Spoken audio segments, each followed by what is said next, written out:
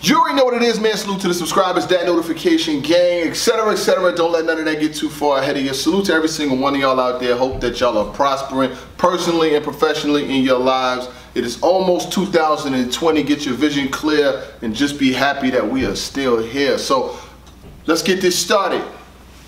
Reed Dollaz, salute to Reed Dollaz. Um, obviously, he's battling Tsu Surf in a week or so on Smack Volume 5. He's got Tsu Surf. Everybody's been asking, why is he getting this battle? He doesn't even deserve this. Nobody wants to see this, but Reed Dollaz now has his own stance. He faced off with Tsu Surf, and the face-off is on the URL app, and it just dropped on YouTube. And pretty much Tsu Surf controlled the face-off. He pretty much said what he wanted. Dan dance circles around Reed, and this is one of the things that I said about Reed as far as the disconnect between where he started at when battle rap obviously first started to where it's at now is two totally different time frames. And you know Reed is obviously legendary for what he's done in the Philadelphia area and helping put battle rap on from when he did the 40 to the neck and battling in the streets and all that but the times have changed and now you know things are really happening at a fast rate and he saw in a face-off that, you know, Tsu Surf kind of like danced around him. He was doing everything he wanted, saying what he wanted, even there with a plain bag of Lay's. Who eats a plain bag? Do you know anybody that eats a plain bag of Lay's? If you go to Subway or anywhere to buy a sandwich, that's the last thing you're gonna get is a plain bag of Lay's. That's like eating spaghetti with no sauce. That's like going to Taco Bell and having no mouth, like a, a plain, surf you ate a plain bag of Lay's and basically was just talking around him but uh, Reed Dollaz had an interesting comment to say about it. He said, sorry, I'm not good at these fake face-offs. When the cameraman say cut, everybody turn friendly again. LOL. Battle rap turned to WWE. See all y'all non-believers December 14th. Basically saying that he's not with the, you know, face-offs and how they use to sell a lot of the matches. And he's just saying that he's going to see y'all December 14th. And then he went on to say, everybody is entitled to their own opinion, but if you really think Surf is gonna wash me, y'all smoking crack, y'all gas Chess, Rex, Shine, I always come out the same way I go in, the fucking general. General Reed is basically saying, y'all gas all these people, and when it's time to put it down, I'm gonna show up and I'm gonna show out. Now, I got hope for Reed. I want Reed to have a good battle. Reed having a good battle does well for everybody. It does good for the sport of battle rap. It does good for the business. It does well. You don't want to see people, I know I don't want to see people show up and do what, mm, you know, uh, uh, yeah, boy from Philly did, you know, show up and then bring those kind of rounds that just make people go in and it doesn't lead for anything well. So, Tsu Surf also said, I'm rooting for Reed to have a good battle. You know, saying he wants Reed to have a good battle. Even though, even though to most, including myself, this is a load management battle. I just made a blog the other day about how Hitman Holla said that, you know, Tsu Surf has pretty much ducked everybody that you could think of to take Reed. There's people who wanted him to battle JC, who wanted him to battle John John, wanted him to battle Cortez, wanted him to battle Mook. Man, he could have even battled Showtime SP. I'm just saying, salute to my boy Showtime SP. You will see him pretty soon, but he's working and working. You know how it goes. But uh, there, people are just basically not not really feeling it. So anyway, um, Tsu Surf then went on and said, "Can somebody tell Reed to unblock me, please?" I don't know if Reed, Reed. It's been a lot of pressure from the Twitterverse and from you know just everybody that's just been going in about Reed not being able to show up and be able to bring material for Tsu Surf. It's, it's, it's, I'm not the only person that said that. I mean, my man Showtime SP did say that he has Reed winning 2-1. I got Surf winning 2-0 because I don't think he's even going to have a third round. But that's neither here or there. This is... I don't even know how I said that with a straight.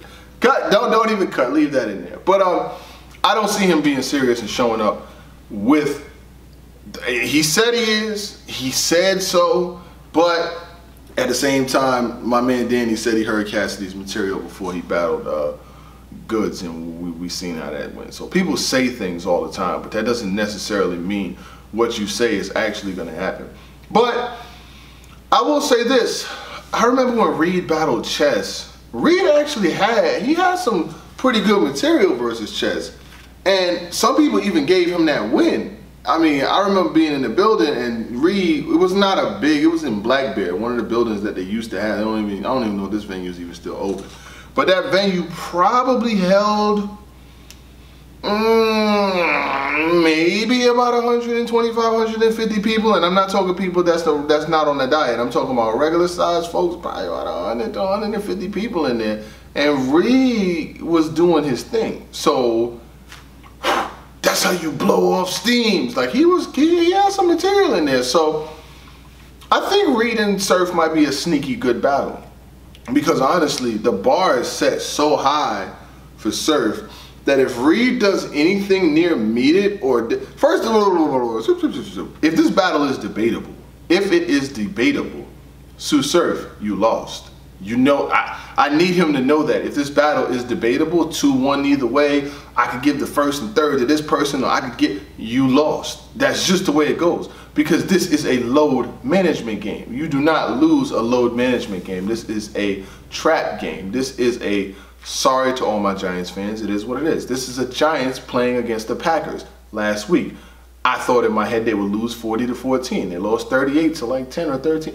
You're supposed to win this game is basically what I'm saying because if Reed Dollaz beats Tsu Surf, that kind of takes some luster off of his next alleged battle, which I heard was I heard was beloved. It, it, you you want to go into beloved with a loss? I know Tsu Surf.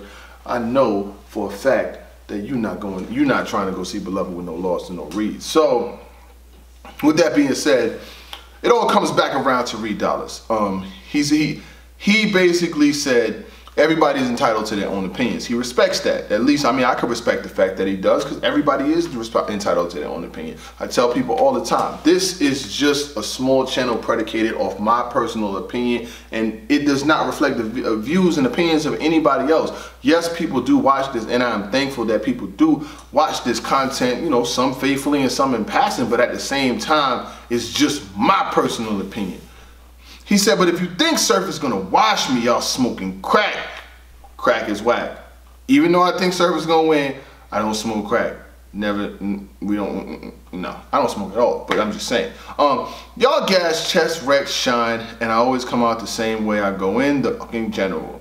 Uh, Chess, debatable, Rex, clear win, shine, clear loss. So he's got a little bit of everything on the spectrum in his comeback. He's got a clear win, he's got a debatable, he's got a fucking loss. You know what I'm saying? Like, I don't even know how anybody could debate the Shine battle. The Shine battle was like not even debatable. And salute to K Shine. K Shine's been back on Twitter and he has been causing an uproar. If you do not have a Twitter or if you do, go check out K Shine. K Shine has been back for about two, two, three days now, and he has things in the uproar. And he said why he got off of it. He said that uh, he got off Twitter because he didn't know how to deal with people that were talking reckless, you know what I'm saying? Like he like people that you don't know just talking reckless about you and just talking crazy to you. He was saying that, you know, it was a part of the maturity process and I can respect him um, for letting his fans know that, you know, he it was just something that he wasn't going to deal with. And now he's back and he's been causing some ruckus as of late. If you haven't seen, he's been talking about pretty much a whole lot of everything. If I was to start talking about everything that K. Sean's tweeted, I'll be here for the next week. And we're not going to do that. So with that being said, you guys let me know. What do y'all think about Reed Dollaz's response? I mean, I think it's very mature. I think uh, at this rate, uh, he should really focus on the bars because, like I said, when you're not when you're not adept on your feet to what's going on and how fast this internet era moves, like Reed is from the street corner era, the battling on the block, the DVD era, and what I will say is he has done some of the better transitioning into this newer era. Not the best, not the best, but he's done some of the better transitioning into this era. And um, he has to bring some material. Like I'll just say this about Reed before I get out of here and no knock on him. I just felt like in the Shine battle, he had some material but like it was just way too far in between. You know what I'm saying? Like that two two three McDonald's fry. Like I I I seen my man Showtime SP trying to talk it up, but I'm like, it was like turkey with no gravy, man. I I'm sorry. It, I mean, it, it is what it is. You know what I'm saying? It was like turkey with no gravy, man. It's like it's like getting excited over a new used car, my G's. Like, you know what I'm saying? Like, it, it is what it is. Like, So he needs to get to the punch faster and he needs to show us some things that don't sound like everything else. He I just need to see a little bit different because literally if Surf comes in there and does what he normally does and Reed does not level up just a little bit just for one night. Look at Verb versus Murda Mook. Leveled up for one night. Now Verb is good. He does good in his battles. He was good versus um Lux. But that little extra oomph, that little leveling up, J.R. Smith in the fourth quarter of Game Seven versus uh, the Golden State Warriors. Second half comes out, hit two, three threes in a row, help get Cleveland back in the game, and ultimately they won the NBA championship. I'm just saying level up a little bit, my G. But anyway, we're gonna leave it like leave it. I'm gonna call it like I call it so I can't spoil it. You guys stay up and you know, we'll get back with some more. Reed Dollaz, I like to see you back, my G. One.